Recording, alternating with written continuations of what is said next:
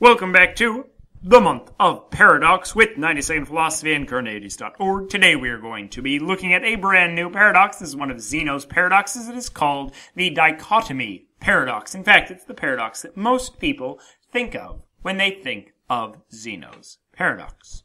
So imagine a runner who's about to start a race. Before he can get to the finish line, he has to make it halfway down that racetrack. But before he can make it halfway down the racetrack, he has to make it a quarter of the way down the racetrack, or half of halfway down the racetrack. And before he can make it a quarter of a way, he has to make it an eighth of the way down the racetrack. The runner will never be able to travel an infinite number of distances.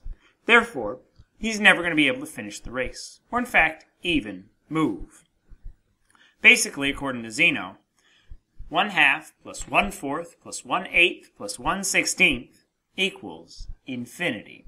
It is an infinite amount of distance. Therefore, it's impossible. Or at the very least, the runner would have to move an infinite number of times to move at all.